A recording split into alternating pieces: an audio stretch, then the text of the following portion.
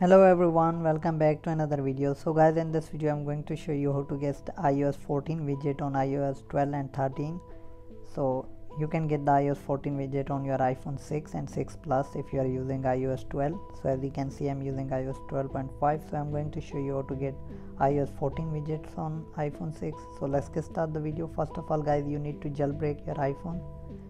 Install cydia then open the cydia guys. Then tap on sources. You need to add the repo so then tap on edit then tap on add. You need to add the repo. So here is the i have already added. Repo.hackyouriphone.org after you add this guys just go to the search bar.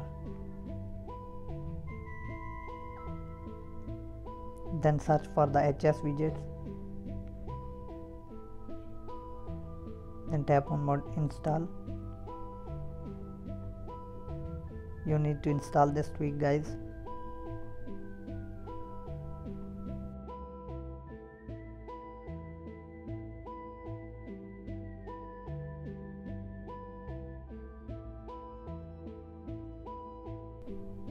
now guys just hold on the any application. After that tweak is installed let me hold.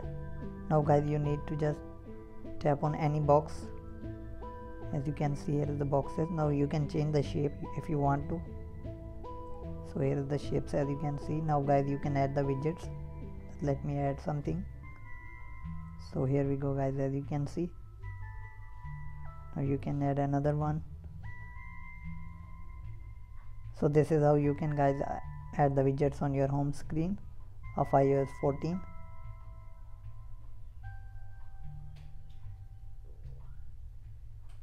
so if you guys like this video leave a like and comment. Thanks for watching guys. See you in the next video